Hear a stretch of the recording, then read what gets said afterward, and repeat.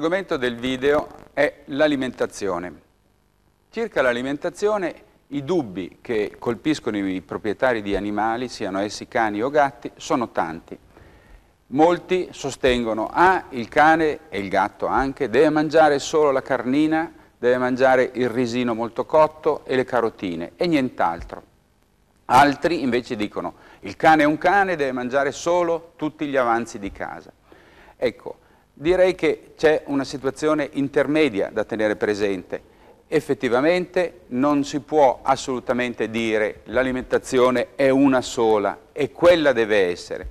Io ricordo spiritosamente quello che diceva mia nonna, tutto ciò che non strozza ingrassa. E io vorrei vederla in questa chiave, cioè eh, tutto ciò che non fa male ai nostri cani e ai nostri gatti, tutto ciò che non causa vomito, tutto ciò che non causa diarrea, può essere dato in giusta misura. Il problema è sempre proprio quello della misura. Non si può dare a un animale un determinato cibo per tutta la vita e poi improvvisamente dare dei cibi conditi, estremamente conditi o pepati o altro. Cioè i cani e i gatti vanno un po' come nel bambino, abituati progressivamente un po' a tutti i cibi. Via via che ci si abitua ai vari cibi, l'animale riuscirà a ben tollerarli e a crescere bene. La cosa più importante di tutte è il numero dei pasti e il numero dei pasti dovrà sempre essere tenuto ben presente dall'inizio della vita fino alla fine della vita. Cioè mm, il cane cucciolo e il gatto cucciolo hanno uno stomachino piccolo, quindi devono mangiare più volte al giorno. Via via nel tempo il numero dei pasti da 5 si riduce a 4, a 3, per poi rimanere 2 eh, pasti fissi per tutta la vita, fino a che ritornando anziani, ritornando vecchi, diventando vecchi, l'alimentazione deve essere ulteriormente frazionata per passare a 3-4 pasti. È vero che troppa carne fa male? Il cane è un carnivoro che però nel tempo è diventato onnivoro. Il cane ha bisogno di carne, però di quanta carne? Ecco, tutti nel tentativo di far crescere meglio il proprio cane o, di, o, nel tentativo di ipotizzare addirittura che con la carne il cane stia meglio, danno grosse quantità di carne. Questo è sbagliato. Nel, addirittura nell'epoca dell'accrescimento è opportuno che proprio, proprio con molta attenzione il veterinario stabilisca una dieta che non prevede certo bisteccone così grosse il cane deve avere un'alimentazione equilibrata, ben studiata dal veterinario, da caso a caso. In età adulta eh, bisogna ricordare che l'eccesso di carne non mh, mm, giova assolutamente. È normale acquisizione in campo umano che la durata della vita è inversamente proporzionale alla quantità di carne che si dà. E questo è abbastanza vero anche per il cane. Quindi ricordiamoci che oltre alla carne ci sono altre proteine che possono essere date i formaggi, il pesce e ancora tutte le proteine derivanti dalla soia. Quindi ricordatevi che non è giusto dare della carne, ma non è giusto darne troppa. Cosa mangerebbero se potessero scegliere? Beh, la domanda fa sorridere quando si tratta di gatti, è proprio del tutto inadatta, nel senso che il gatto mh, assolutamente sceglie sempre lui il gatto non è un essere condizionabile per ciò che riguarda l'alimentazione, così come è condizionabile il cane, così come si riesce a condizionare il bambino. Il gatto ha una spiccata preferenza per un determinato cibo e ogni gatto fa storia a sé. Chi ha più gatti sa che c'è colui che preferisce il pesce, colui che preferisce la carne, colui che preferisce il formaggio. Quindi il gatto difficilmente è condizionabile. Diciamo piuttosto che effettivamente da questa sua mania di voler mangiare un po' di tutto eh, possono nascere e sorgere dei problemi, nel senso che alcuni, ehm, alcuni cibi dati in maniera abnorme e dati in maniera esclusiva possono causare dei problemi. Quali problemi? Per esempio l'eccesso di fegato può causare delle ipervitaminosi A con dei fenomeni artrosici a livello delle articolazioni del gomito L'eccesso di croccantini, quei cibi secchi per gatti, può causare dei problemi poi vescicali. Quindi direi cercate di dare un'alimentazione il più variata possibile. Come si fa? E beh, eh, bisogna cercare di condizionarli fin dalla più tenera età offrendo un po' di tutto. E non dando un'alimentazione univoca perché altrimenti ben difficilmente si riuscirà a convincerli a togliersi da dalla testa questo tipo di dieta. Gli si possono dare ossa da masticare? In natura gli animali mangiano di tutto, mangiavano di tutto. Gli animali cominciavano dalla pelle per arrivare alle ossa, alle interiora. Solo nei tempi moderni si è cominciato a ipotizzare che non fosse opportuno dare alcune parti dell'animale, vale a dire le e le ossa. Oserei dire che non è giusto. In effetti la cosa migliore proprio sarebbe di abituare progressivamente il nostro cane di casa a masticare, a rosicchiare un osso alla settimana. Questo perché? Perché le ossa esercitano una funzione meccanica sulle gengive e sui denti e impediscono la formazione di tartaro. Tengono la dentatura sana. I cibi duri tengono la dentatura molto più sana di quanto non si creda. Quindi sarebbe opportuno abituarli progressivamente. Perché dico abituarli progressivamente? Perché molto spesso, specie quando sono più cani insieme, nel tentativo di impadronirsi più velocemente dell'osso o di eh, mangiarlo velocemente prima che il padrone lo porti via, lo ingeriscono anche a pezzi e questo può nuocere. Quali sono le ossa che possono essere date? Le ossa migliori in assoluto sono le ossa grandi, di mh, animale grande, cioè ossa di bovino, ossa particolarmente eh, grosse in, con un pochettino ancora di ehm, diciamo, connettivo e di tendini attaccati affinché il cane possa divertirsi e soprattutto possa detergersi la bocca. Sono sconsigliabili di solito le ossa piccole, le ossa di pollo, le ossa di coniglio, perché possono scheggiarsi e causare dei danni sia al palato sia all'intestino. Fa davvero bene l'erba gatto? L'erba gattaia o Neperia cataria, che è questa, è un'erba che viene venduta di solito anche nei negozi specializzati in semi e in appositi contenitori dove una volta che si sono innaffiate per giorni e giorni cresco, crescono poi queste foglioline. Questa erba eh, ha due funzioni, dovrebbe avere due funzioni. Una funzione è quella che eh, serve a aiutare i gatti che la mangiano a poter vomitare i boli di pelo che si formano nel, nello stomaco a seguito del continuo leccamento che loro attuano sul loro mantello. Però la maggioranza dei gatti non è che la prediliga per questo uso, tutt'al più preferisce anche altre piante, preferisce allora più i papiri di casa, con ampi pericoli fra l'altro. Ma di solito l'erba gatta, o l'erba gattaia per meglio dire, non è che li attiri tantissimo. Alcuni gatti invece vengono attirati da una sostanza specifica che c'è nell'erba gattaia. È un olio che si chiama eptalattone e che su alcuni gatti, solo su alcuni perché moltissimi non, non hanno nessun interesse per questo tipo di eh, esperienza, ha un effetto che sembra, viene descritto come un effetto allucinogeno, quasi come un effetto eh, di una droga nell'uomo, come la marijuana nell'uomo, così dicono i ricercatori. E in effetti il comportamento dei gatti ai quali piace molto l'erba gattaia è un comportamento particolare, cioè si avvicinano, ne mordicchiano un po', poi si strusciano il muso, poi si mettono a pancia all'aria con aria intontita e imbambolata. Eh, effettivamente nessuno può sapere cosa succede nella loro mente, è molto difficile capirlo, però il comportamento di alcuni di fronte all'erba gattaia è proprio quello che abbiamo descritto. Direi gliela diamo o non gliela diamo? Un vantaggio enorme c'è, è che l'erba gattaia male non fa, quindi se il nostro piccolo felino la vuole, lasciamogliela pure assumere tranquillamente. Quali recipienti dargli da mangiare? Ci sono tanti piccoli accorgimenti da tenere presenti per ciò che riguarda le ciotole o comunque i contenitori per dar da mangiare e da bere ai nostri cari cani. Per ciò che riguarda il cibo, direi che è indifferente usare ciotole di plastica o di metallo, di plastica molto dura o di metallo.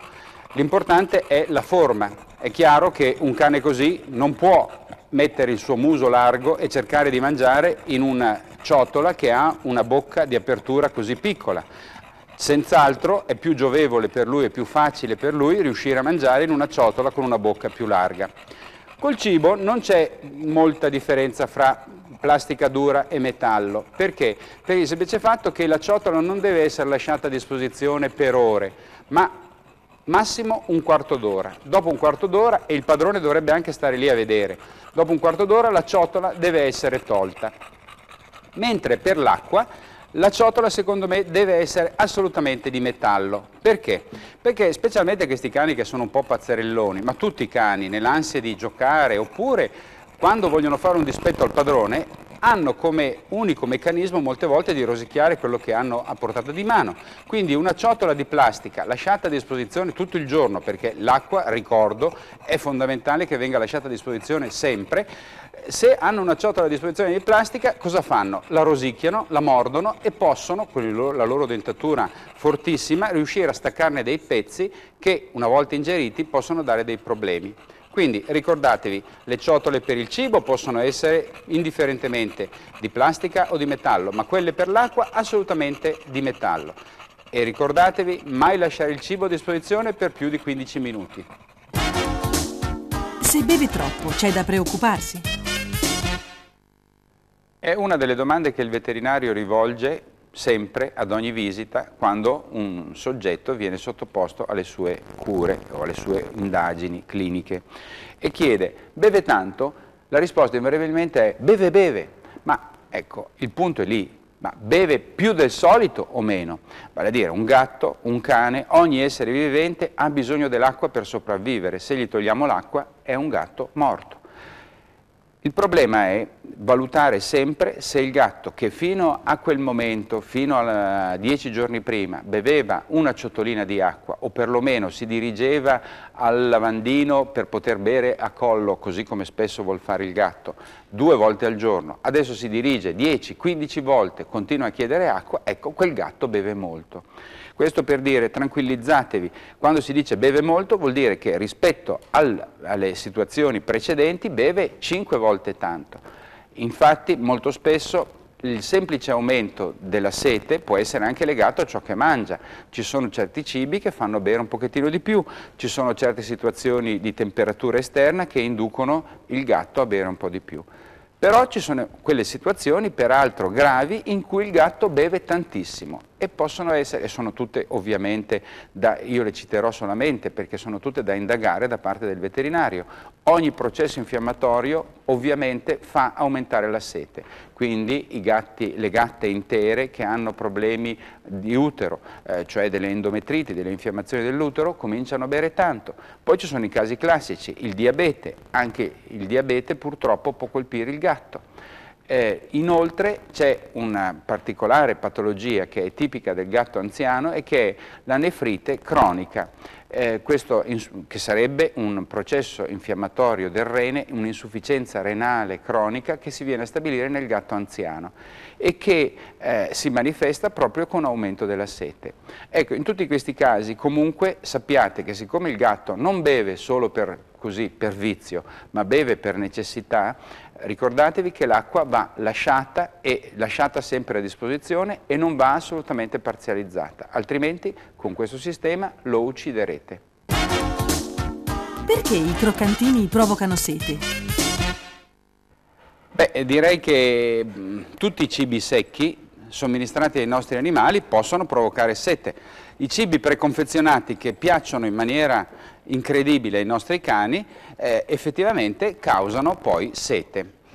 Eh, che cosa però, più ancora di sapere perché provocano sete, che è logico e naturale, vediamo di gestire il problema in maniera più intelligente, cioè è meglio, sarebbe meglio non dare dei cibi secchi e poi far sì che il cane beva un litro d'acqua, per il semplice fatto che può andare incontro a delle dilatazioni acute di stomaco, mentre è molto meglio somministrare questi cibi, e mm, sulle istruzioni dei vari prodotti preconfezionati c'è adeguatamente scritto, cibi mescolati all'acqua, in modo che possano assumere contemporaneamente quel poco di acqua necessaria e che il cibo non sia così esasperatamente secco tanto da causare una, poi una dilatazione di stomaco. In effetti è proprio una delle cose più temibili che ci sia la dilatazione di stomaco, specie nei cani di razza grossa. e può essere conseguente all'ingestione di abnormi quantità di liquidi subito dopo aver mangiato cibi secchi. Questi cibi si dilatano nello stomaco e possono dare dei problemi. Quindi bisogna usare molta attenzione, sempre molta saggezza, specie quando si ha a che fare con dei cani come i Labrador, che sono cani che mangiano con molta voglia, con molto desiderio e soprattutto con una eh, voracità incredibile. Gli fa male saltare qualche pasto? Certamente no. Mm, in effetti se anche il gatto salta il pasto non succede niente, però sfido chiunque a riuscire a resistere alle domande insistenti, alle lamentele e al pietire del gatto che in buona salute chiede il suo pasto. Quindi di solito nessuno ha mai il cuore di far saltare un pasto al proprio gatto anche quando magari in certi casi sarebbe necessario diminuire un po' la dieta per evitare ingrassamenti abnormi. Al di là di questo la domanda permette di introdurre un problema che è un problema pratico contingente di coloro che magari si devono assentare per un giorno, un giorno e mezzo e non sanno come alimentare il proprio gatto. E ci sono due possibilità, anzi tre adesso. La prima possibilità è tenerlo assolutamente digiuno, dargli il pasto regolare al momento in cui si esce e poi ci rivediamo quando torno. L'altra possibilità è quella di fornire un pasto molto abbondante nell'idea che il gatto riesca a parzializzarlo. Errore gravissimo. Il gatto, anche se è molto più razionale di quanto si creda, anche se è molto più attento del cane, avendo lì il pasto va a finire che lo consuma quasi tutto. E difficilmente, solo rari casi, sono quelli di gatti che lo parzializzano nel giro delle 24 36 ore.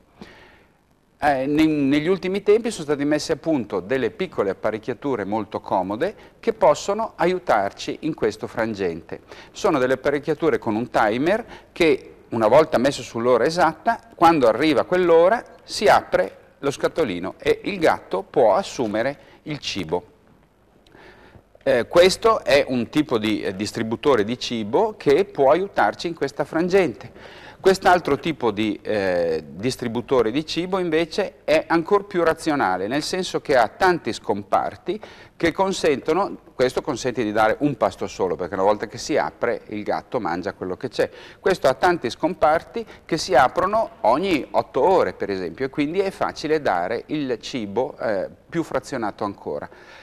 Sono ottime innovazioni. È ovvio, negli anni 2000 queste cose dovevano, avrebbero dovuto essere inventate e sono state create.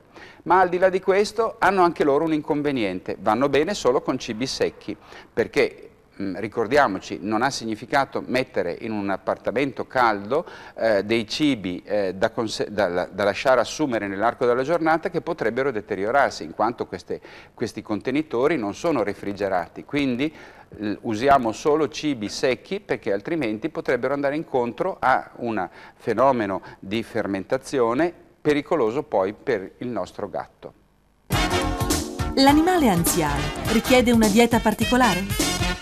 Circa l'alimentazione dell'animale anziano bisogna essere elastici e con un po' di fantasia.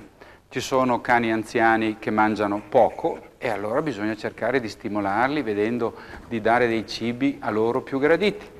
Ci sono invece degli animali anziani che tendono a mangiare tantissimo e a ingrassare in maniera portentosa. Quindi bisogna essere elastici e valutare la, la situazione da caso a caso. Essenzialmente ci sono due regole però da tenere presenti. La prima è che non bisogna eccedere con la carne L'eccesso di carne sovraccarica il lavoro del fegato e dei reni e quindi in un anziano non è mai consigliabile.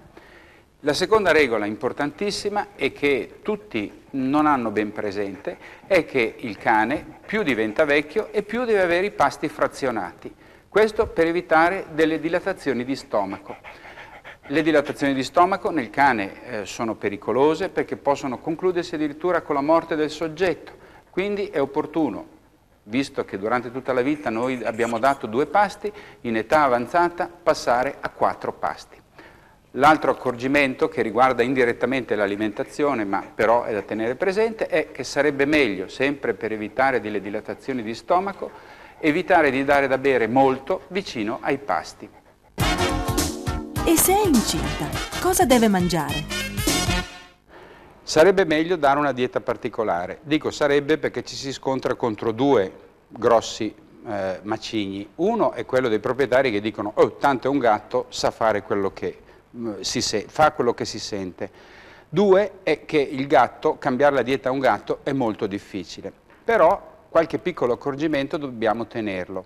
In effetti la gatta che è, aspetta dei cucciolini ha bisogno di un'alimentazione un pochettino più proteica, quindi un pochettino più di carne di quanto non ne assuma di solito e eh, sarebbe bene anche abituarla a assumere latte, a riabituarla a assumere latte proprio per darle quel quid di calcio che a lei è indispensabile proprio in questo momento fisiologico. Eh, altra cosa che bisognerebbe tenere presente è che dopo aver fatto visitare dal veterinario il gatto per vederne, valutarne lo stato generale, ehm, sarà bene dare degli integratori e ci sono degli integratori molto ben accetti dal gatto che abbiano una funzione di dare quel quid di proteine, di aminoacidi, di eh, sali e di minerali necessari e utili affinché porti avanti degnamente la gravidanza. Un'ultima connotazione è quella della quantità di cibo. Non si può darle grosse quantità tutte di colpo perché naturalmente questo addome già così eh, parzialmente eh, spinto dalla massa del, dei cuccioli ospitati nell'utero va a comprimere lo stomaco, quindi la povera gatta non riesce a assumere un pasto molto abbondante. È meglio dare tanti piccoli pasti. Ci sono cibi da evitare? Da evitare in senso assoluto è la somministrazione di ossa di piccoli animali, le ossa di pollo, le ossa di coniglio, che una volta ingerite voracemente dal cane possono dare dei problemi all'apparato gastrointestinale. Infatti si scheggiano e queste piccole schegge potrebbero causare problemi sia allo stomaco che all'intestino. Quindi queste sono veramente da evitare. Poi ci sono dei cibi che è consigliabile dare con molta attenzione e soprattutto osservare come l'animale si comporta con questi cibi. Per esempio, classico è quello del latte col giovane cucciolo. Questo meraviglioso boxer probabilmente tollera il latte, però nessuno lo può sapere. Quindi bisogna somministrare il latte a piccole dosi e vedere se non gli causa diarrea o addirittura vomito la somministrazione di questo tipo di alimento. Quello che ho detto e esemplificato per il cucciolo vale per tutti quanti gli alimenti e per tutti quanti i cani nelle varie età. Quindi direi che basta usare un po' di attenzione e vedere se il cane eh, abituato a un determinato alimento non ha problemi, può continuare a prenderlo tranquillamente. Particolare attenzione va fatta ai gelati. I gelati di solito vengono, non fanno assolutamente male, ma vengono assunti in maniera vorace dal cane che ne ingerisce un bollo piuttosto consistente che può causare delle coliche. Quindi è un po' come se noi mangiassimo il gelato a blocchi. Il gelato va pian piano fatto sciogliere in bocca. Il cane molte volte non ha la pazienza, non ha la struttura mentale, né tantomeno fisica, per leccare il gelato adagio adagio, quindi bisogna starci attenti. Direi che per quel che riguarda i cibi da evitare o i cibi da consigliare, rimane sempre sacrosanta la regola che è tutto affidato al proprietario, alla saggezza e alla capacità di gestire del proprietario. Come prevenire l'obesità? Vediamo innanzitutto quando un gatto è veramente grasso. Eh, gatto, eh, per vedere se il gatto è grasso bisogna prendere la cute, portarla verso l'esterno e vedere se fra cute e costato ci sono dei grossi depositi adiposi, come in questo caso. Altro eh, deposito di grasso piuttosto evidente è quello che si trova nella regione ventrale e si trova questa massa enorme di grasso che è indicativa proprio effettivamente di una obesità. L'obesità nell'uomo è fonte di problema soprattutto sociale, eh, oltre che anche di tipo eh, diciamo, salute. Nel gatto lo è meno, ehm, in effetti i gatti sono sempre e comunque belli, sono sempre e comunque graziosi, quindi non creiamoci un cruccio. Per la sua salute effettivamente sarebbe meglio non farlo ingrassare tanto. Quali sono le cause dell'ingrassamento abnorme del gatto? Eh, innanzitutto ehm, effettivamente quella castrazione che tutti noi consigliamo per evitare che il gatto soffra ehm, inutilmente in attesa di un accoppiamento, effettivamente può generare una turba ormonale che fa tendere a ingrassare e a questo punto eh, bisogna che il proprietario adeguatamente, somministri del cibo a ore fisse senza lasciarlo sempre a disposizione come molti fanno, perché in questo caso il gatto che ha già una tendenza ormonale a ingrassare, annoiato dal fatto che sta in casa tutto il giorno, può essere che mangi di più e quindi ingrassi. Direi che non c'è nulla da fare d'altro se non stare molto attenti con la dieta e ricordare sempre quella che è una regola importantissima di dare il pasto a ore fisse e non lasciare le ciotoline sempre a disposizione. Come stabilire quanto pesa? Come per l'uomo, anche per il cane ci sono dei parametri eh, che riguardano il peso in relazione all'altezza. Direi che però, mentre nell'uomo sta diventando una questione addirittura maniacale, quella del peso quotidiano, del, del sovrappeso, eccetera, nel cane va preso con maggiore elasticità questa cosa e eh, ha significato soprattutto vedere l'armonia del corpo del cane, vedere che sia armonico, poi mezzo chilo più, mezzo chilo meno, non è che conti molto. Per pesarlo, cosa che molte persone si pongono come problema grave di difficile risoluzione, beh, oserei dire che è molto semplice. Non si fa nient'altro che prendere il braccio il cane e mh, pesarsi contemporaneamente su una bilancia da bagno o una bilancia di quelle a, a, con un'alzata così come questa. Come si fa? Si sale, si legge il peso, si scende, si lascia, ammesso che lui ci stia, il cane fermo, ci si ripesa e si fa la differenza. Con questo sistema si riesce a stabilire il peso del cane, che, ripeto, non deve essere un fatto maniacale, serve più che altro nei primi tempi di vita per vedere qual è l'incremento ponderale del cane stesso. Poi direi che fatto due o tre volte l'anno serve a valutare se il cane effettivamente è molto ingrassato rispetto al passato o diminuito. E se cattura un uccellino? Ci sono eh, i gatti di casa che spesso catturano la preda e con quella ci giocano pian piano, crudelmente, fino a farla morire. Ci sono altri gatti invece che, catturato un piccolo animaletto, lo portano al padrone e offrono la preda al padrone.